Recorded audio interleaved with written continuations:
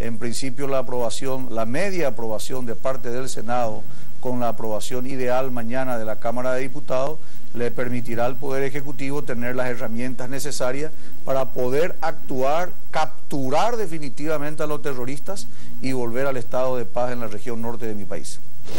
Bueno, ante la atroz masacre a Rollito, hay agentes de inteligencia trabajan sobre nuevos elementos que confirmarían que el Ejército Popular Paraguayo no solo ha sostenido una relación subversiva con el señalado grupo terrorista de las FARC, sino que sería una célula armada del grupo criminal. El equipo periodístico del programa La Noche en los últimos tres años ha revelado un sinnúmero de investigaciones elaboradas por las autoridades de Paraguay, pruebas que confirmarían que detrás de las acciones perpetradas por el autodenominado Ejército del Pueblo Paraguayo se encuentran las FARC. Se trata de atentados con explosivos, tráfico de armas, de drogas, asesinatos, secuestros, como el de la joven Cecilia Cubas, hija del expresidente Raúl Cubas, quien fue asfixiada por sus captores pese a que su familia había pagado un millonario rescate. El equipo investigativo del programa La Noche reveló en exclusiva el pasado 15 de diciembre el dossier completo de los tentáculos de las FARC en Paraguay, hallado en los archivos secretos del abatido cabecilla guerrillero alias Raúl Reyes. El extenso documento pone al descubierto una macabra alianza terrorista colombiano y el autodenominado Ejército del Pueblo Paraguayo para desarrollar conjuntamente secuestros, asesinatos, tráfico de armas y negocio de narcotráfico en el Cono Sur.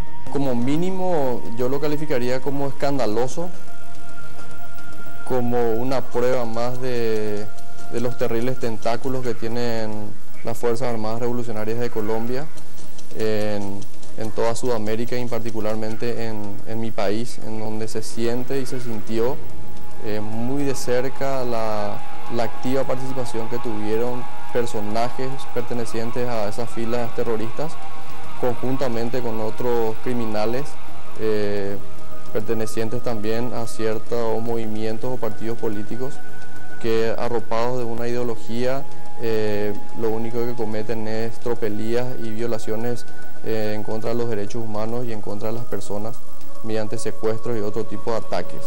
Conversaciones entre reyes con miembros de la Comisión Internacional de las FARC dejan claro que las dos agrupaciones desarrollaron actividades ilícitas en territorio paraguayo.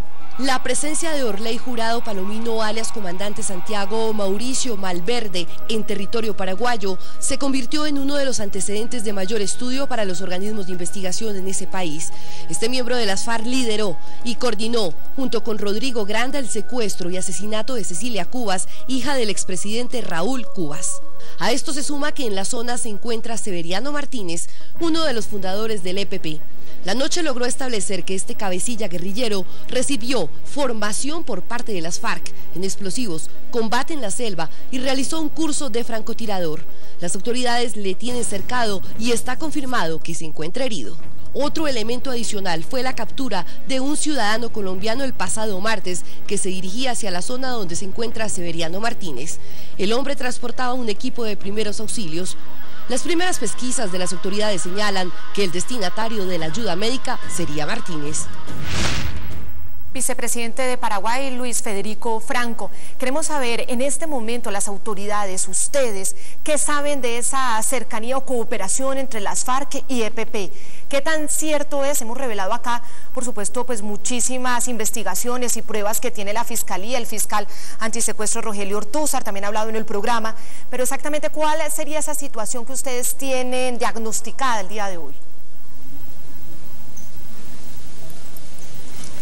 Lo concreto que se tiene es el informe del ministro del Interior, quien ha reconocido públicamente la presencia efectiva de la FARC para capacitar y formar a los integrantes del EPP en primer lugar, y en segundo lugar lo del día de antes de ayer.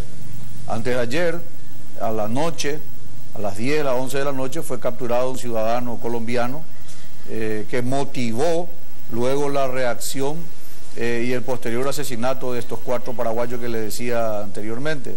La presencia de este colombiano, que seguramente estará a cargo de la justicia, debidamente identificado, con equipo de medicina, como si fuese un médico o un auxiliar paramédico, eh, tendrá que ser aclarado. Una vez identificado, seguramente vamos a saber a ciencia cierta lo que todos, absolutamente todos, comentamos, que es el apoyo indisimulado de la FARC al ejército del pueblo paraguayo.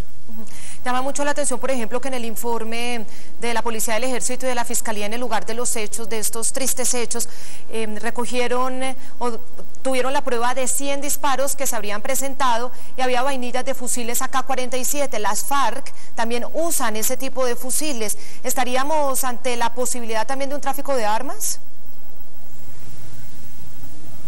Claro, no se puede negar. AK-47, M16 y otros insumos de guerra de largo alcance son utilizados normalmente. Y recuerde que en mi país se encontró durante el secuestro de Fidel Zavala un arsenal de guerra, literalmente un arsenal de guerra eh, que nadie se hizo cargo absolutamente. Eh, así que nosotros no podemos descartar el tráfico de armas, el narcotráfico eh, y otros ilícitos como lavado de dólares como consecuencia, primero, de la industria del secuestro y en segundo lugar de todas estas actividades paralelas, entiéndase marihuana, coca o tráfico de armas. Ya aclararon em, cómo se produjeron exactamente los hechos, porque lo que tenemos entendido es que em, cuando estos campesinos, con ayuda de la policía, fueron a buscar el ganado robado, recibieron los disparos, empezó el enfrentamiento. De esa manera sucedieron y a 20 metros estaba un campamento del EPP recientemente abandonada, abandonado. ¿Eso fue así?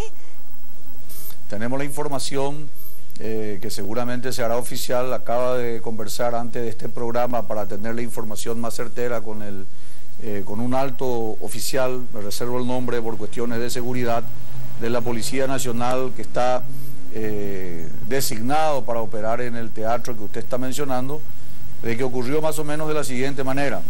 El día martes a la noche, 10 de la noche, fue capturado este ciudadano colombiano.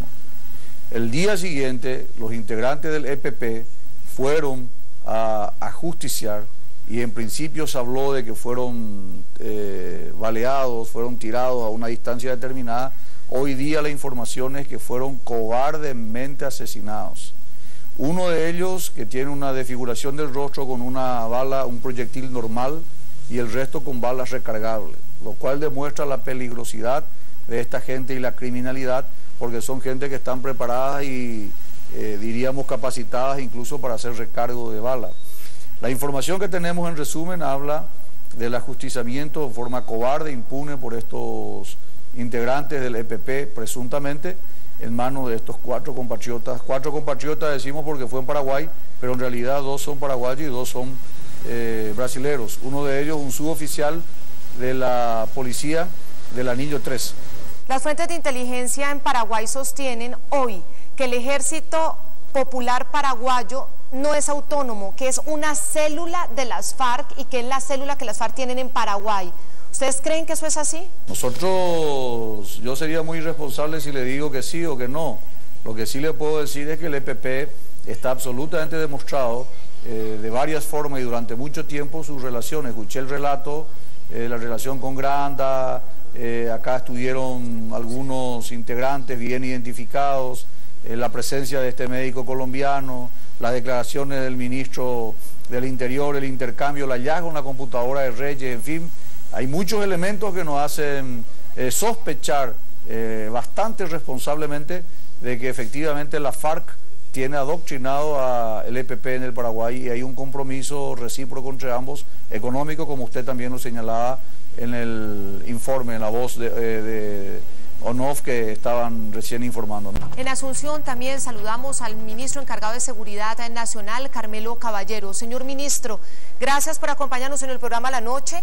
Usted estuvo visitando la zona de Arroyito donde fue cometida esta masacre de cuatro personas. Queremos saber qué información trae. Bienvenido. Sí, muy buenas noches Claudia. Un saludo para vos, para América Latina y el Caribe. Sí, efectivamente, el día de ayer hemos estado conjuntamente con altos jefes de la Policía Nacional visitando específicamente el punto en donde se produjo el enfrentamiento y el asesinato de cuatro personas, eh, presumiblemente por parte de este grupo delincuencial autodenominado EPP. En ese sentido, se llevan a cabo a partir del mismo instante de la producción de ese hecho eh, varios operativos a partir del día de la fecha, eh, efectivos militares también acompañan la labor de la Policía Nacional